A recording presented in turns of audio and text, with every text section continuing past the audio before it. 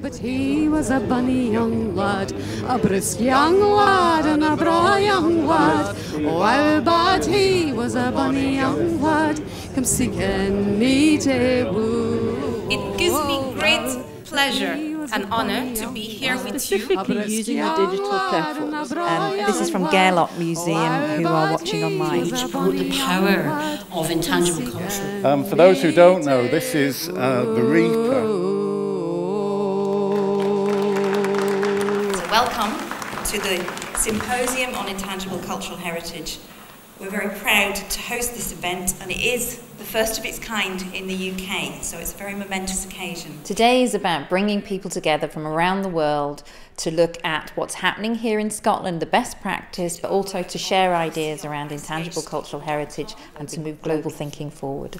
I am passionate about Scotland's culture and heritage, and Scotland possesses a wealth of living traditions. Work hand in hand to realise the future we want for all. We think that it's very groundbreaking. It's a very great opportunity uh, for UNESCO to be here to witness this symposium that is highly relevant. And it's very great contribution in terms of the dialogue and intangible cultural heritage um, and identities, sustainable and community development. So we think that it's amazing and we want to commend Museum Galleries Scotland for, for this initiative.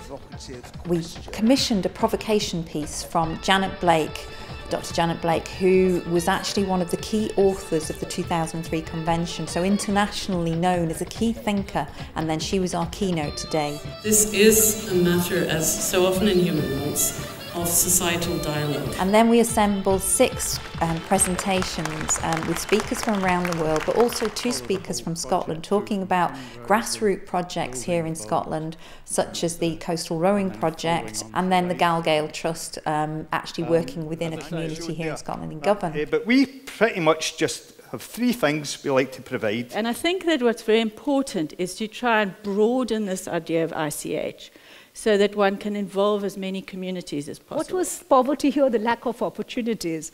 And building on intangible cultural heritage opened up that opportunity. Because we believe that if the idea behind the convention is that cultural diversity is important, then it should not only be an, an, international level of intangible heritage, but we should also have this diversity within our territory. No one can say intangible cultural heritage isn't for them if they're a human being.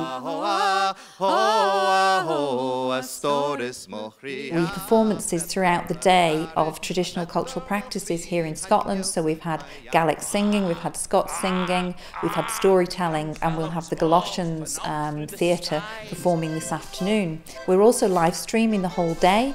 So we have an international community who are participating with remote questions. So it's a very interactive day and all these other things which again have their loaded. After lunch we split into groups uh, in the various tables and, and uh, there were various discussions happening on various aspects that uh, about ICH. I think there was general agreement that just recognising and celebrating cultural differences is as important as anything. What was in people's heads was a very important part of our heritage.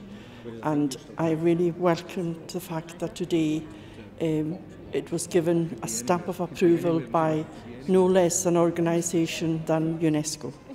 We had heard inspiring presentations, different opinions about the role of intangible cultural heritage, living heritage in the, in the development of communities. And I think they will take away, even more importantly, the richness of Scottish um, heritage, intangible cultural heritage. I know what I will take away. I will take away the Gaelic singing, the Galoshans performance, and all the taste of, of intangible cultural heritage that exists in, in, in this society.